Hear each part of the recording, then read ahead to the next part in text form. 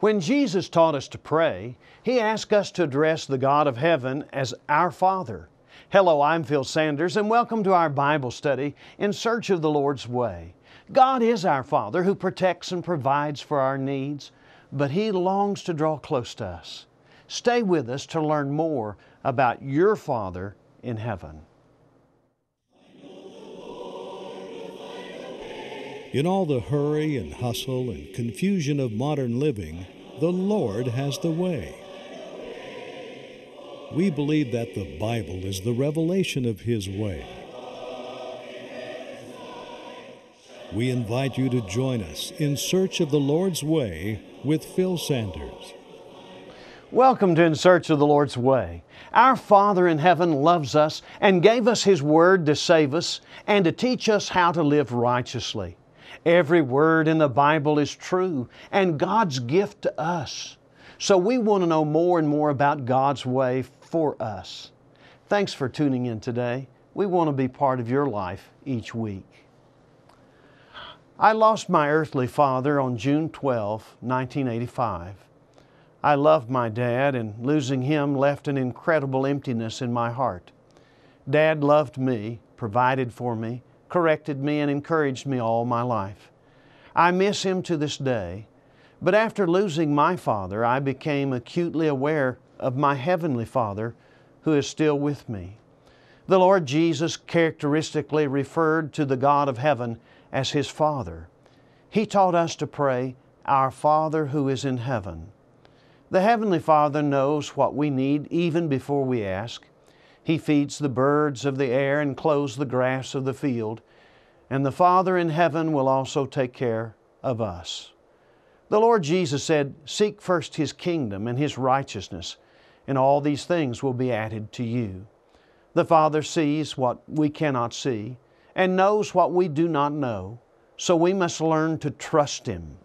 We must do the will of our Father in heaven if we're to enter into heaven the Father wisely teaches us what we need to know to have eternal life and to be His children. Jesus promised to prepare a place for us in heaven, in the Father's house. Our Father wants to bless us with His mercy and love forever. And how blessed we are to have a Father in heaven. We offer the information on this program free, and if you'd like a printed copy of our study and we ask that you mail your request to In Search of the Lord's Way, Post Office Box 371, Edmond, Oklahoma 73083, or send an email to searchtv at searchtv.org. Or if you like, call our toll free telephone number. Now we'll pay for the call. That number is 1 800 321 8633. We also stream this program on our website at searchtv.org. Larry Owsley will now lead the Edmond Church of Christ in song, and then we'll read from Philippians 4, verses 4 to 7.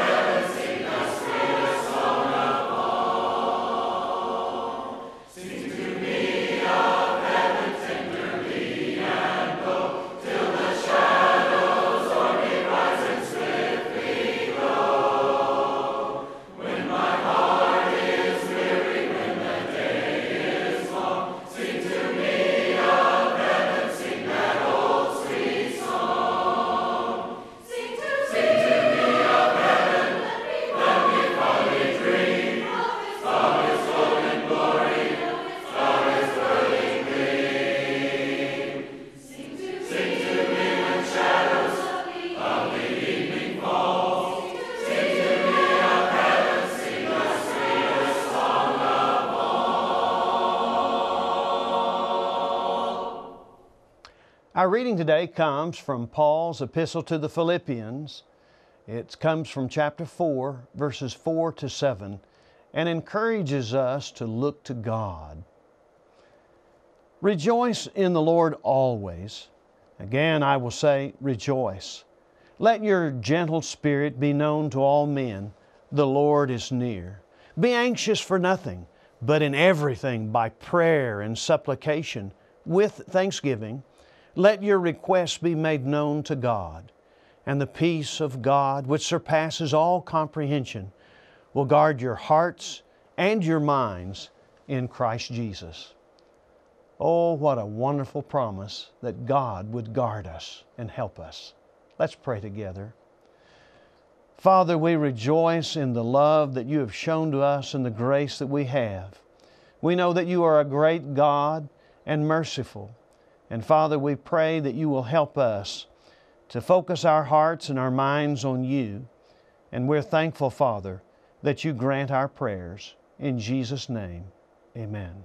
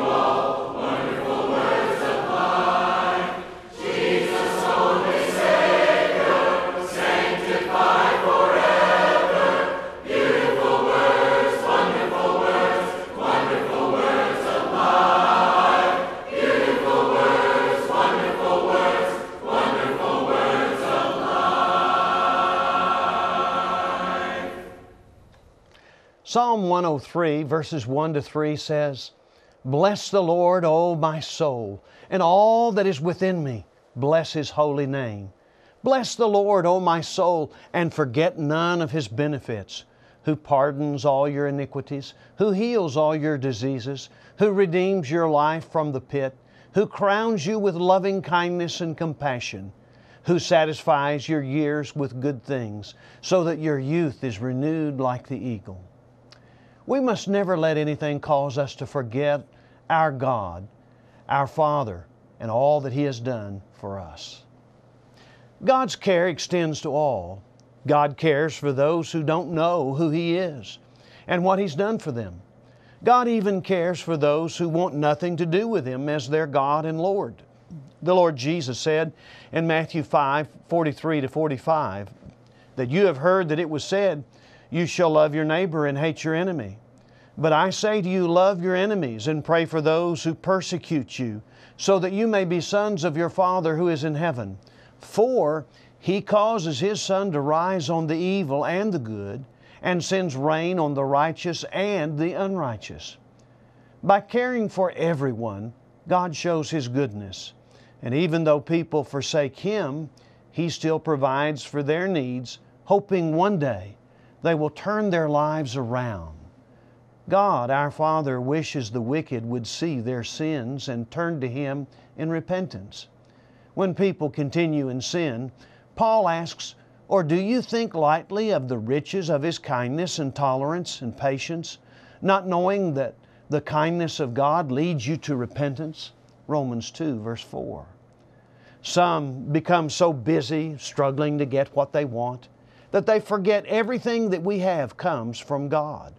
The Bible says in James 1:17 that every good thing given and every perfect gift is from above, coming down from the Father of lights, with whom there is no variation or shifting shadow. Many grumble about all the things they don't have and forget what wonderful things our Father has done for us.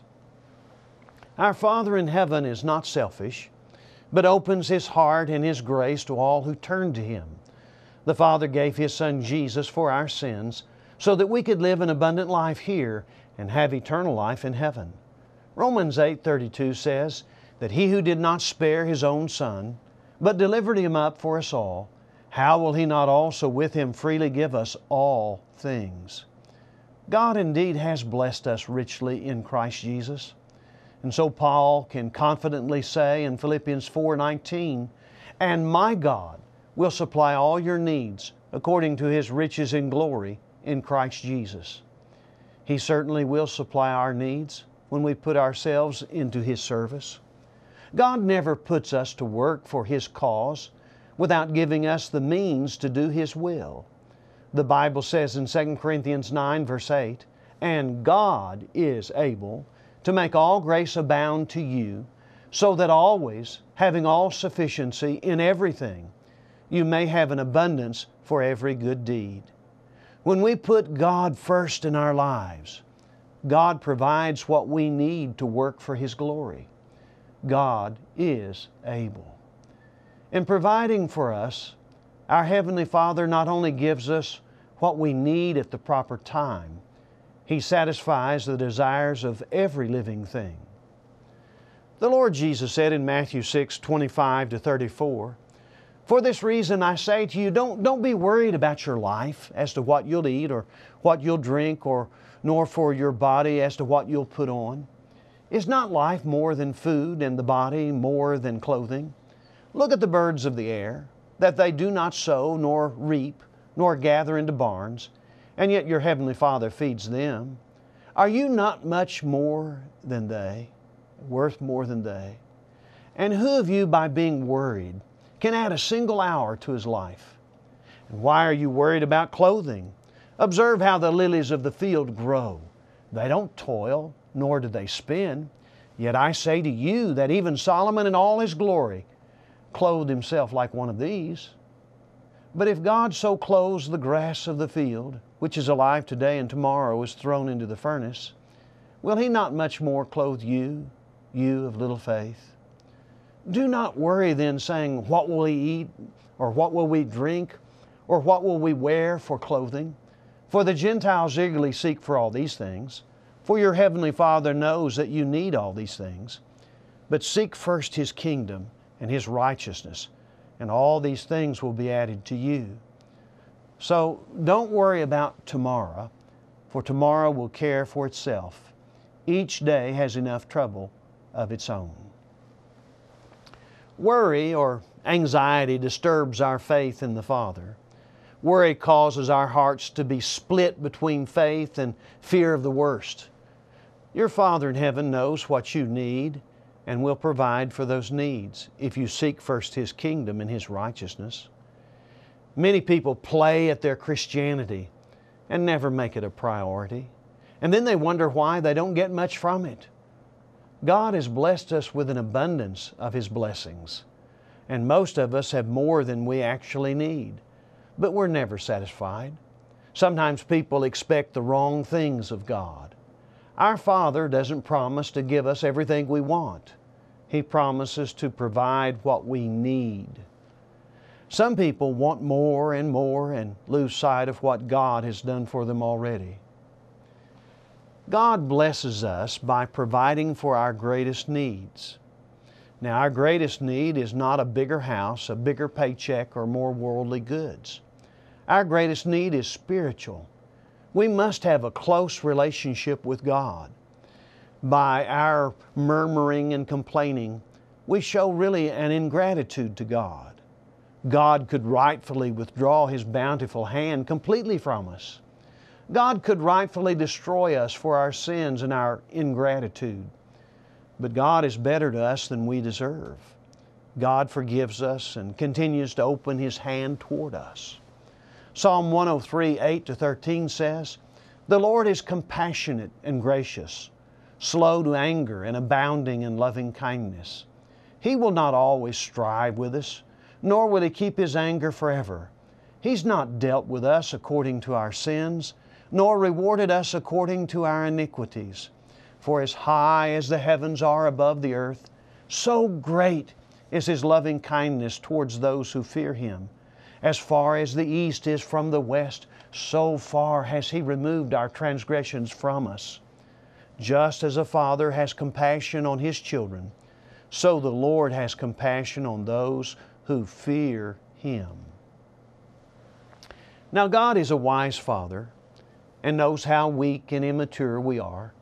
So He works with us and in us to help us to grow spiritually.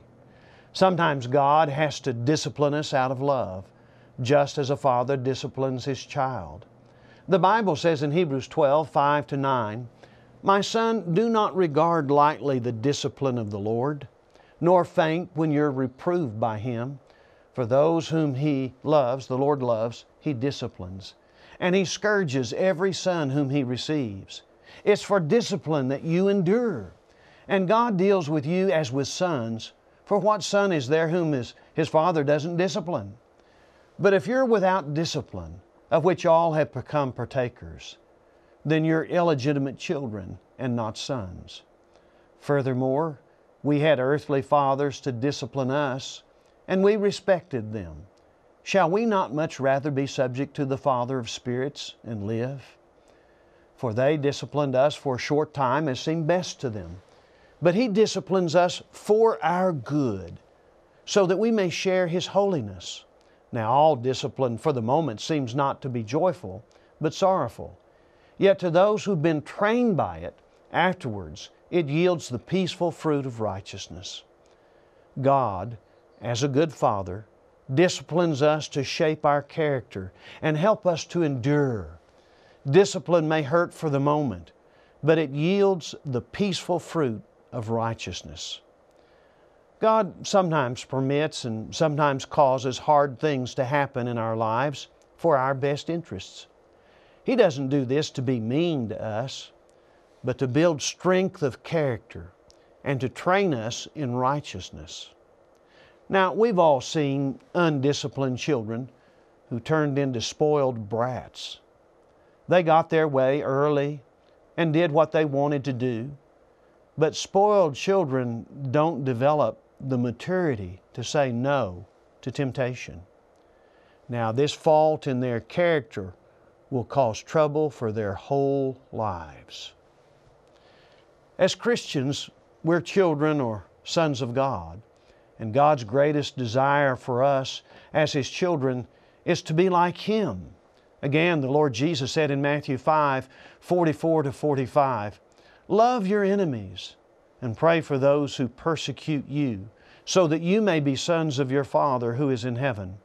For He causes His sun to rise on the evil and on the good, and He sends rain on the righteous and the unrighteous. Now, God our Father is a model of righteousness, and He's kind.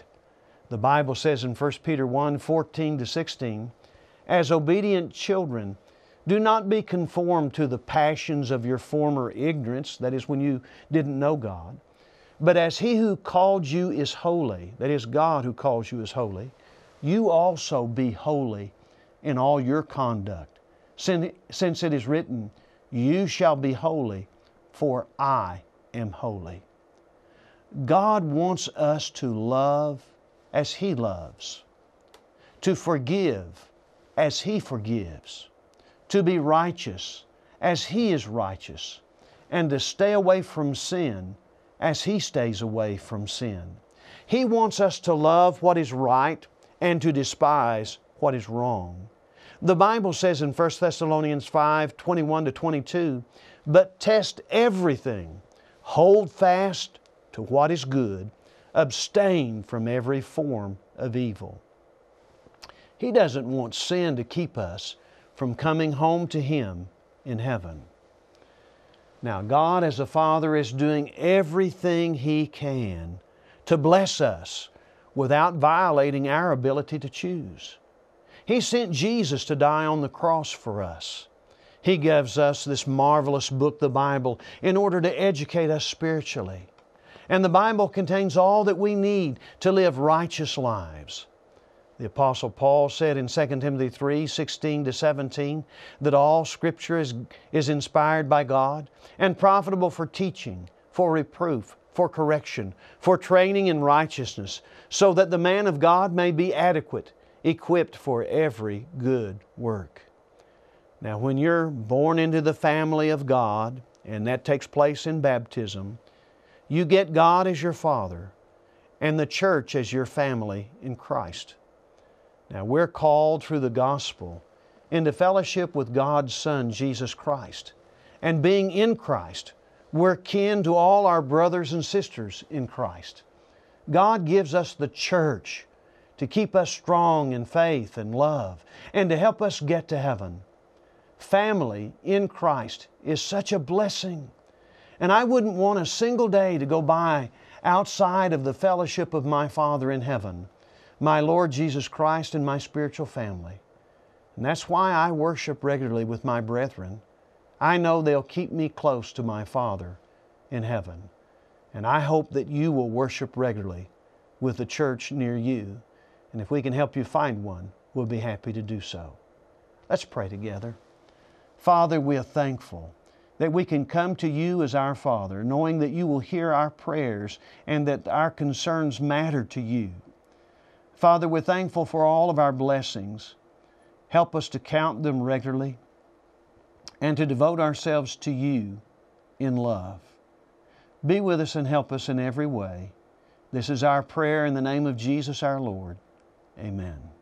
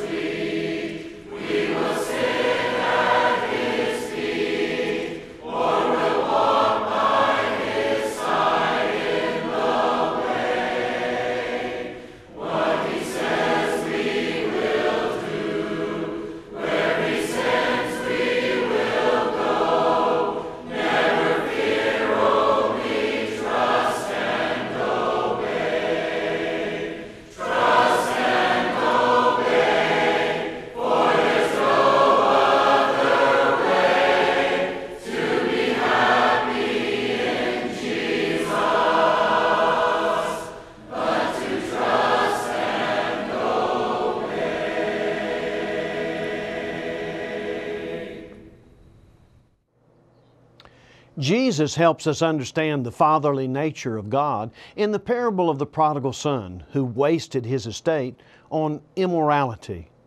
When a famine came and he was hungry, the Bible says in Luke 15 that he came to his senses and said, I'll get up and go to my father and will say to him, Father, I've sinned against heaven and in your sight. I'm no longer worthy to be called your son. Make me as one of your hired men. I can only imagine how guilt ridden, humiliated, and lonely this foolish young man was. He was even a little afraid. But when the ragged, hungry boy came home, the father saw him, felt compassion for him, and ran and embraced him and kissed him. The son uh, began his penitent confession to his father, but the father stopped him. He told his slaves, Quickly bring out the best robe and put it on him. Put a ring on his hand and sandals on his feet, and bring the fattened calf. Kill it, and let us eat and celebrate, for this son of mine was dead and has come to life again. He was lost and has been found. And they began to celebrate. Verses 22 to 24. God will show His marvelous and undeserved love towards us too if we come to our senses and humble our hearts before Him, He wants to forgive and to bless us. He's watching and waiting for you. And you know what? He'll run for you if you will come to Him. Now, to enter into a relationship with the Father, you must believe in Jesus as the Christ, the Son of the living God. Confessing Christ, you must turn from your sins in repentance. Luke 13, 3 says that unless you repent, you will all likewise perish. Now, you can't put sin first and still please God. Then you must also be baptized, that is, immersed in water for the forgiveness of your sins. Romans 6 and verse 3 says that we're baptized into the death of Christ, where the blood was shed. God washes away our sins in the blood of Christ. Now, perhaps you're a member of the Church of Christ, but have wandered off like the prodigal son. Come to your senses about sin and come back to your Father in heaven. He's waiting for you. We hope you've been blessed by today's study about God our Father. If you want a free printed copy of the lesson, God our Father, mail your request to In Search of the Lord's Way, Post Office Box 371, Edmond, Oklahoma 73083, or send an email to searchtv at searchtv.org. Or you can call the search office toll free at 1 800 321 8633. Now, there's also a schedule of our programs and a map with the location of churches that are in your area on our website at searchtv.org. You can watch Search anytime on YouTube. Subscribe to our channel on YouTube. It's Search TV Ministry, all one word. We also offer free Bible correspondence courses. Now, don't worry if you get a hold of us, we're not asking for money. We're here to help you draw close to God. We do ask that you focus your heart on God by worshiping at church. Everybody needs a church family, and there's probably a Church of Christ near you. They love guests, and you'll be glad you visited. And if you're looking for a healthy biblical church home, we'll be glad to help you find one. We'll be back next week, Lord willing. So keep searching God's Word with us and tell a friend about the program. And as always, God bless you, and we love you from all of us at In Search of the Lord's Way.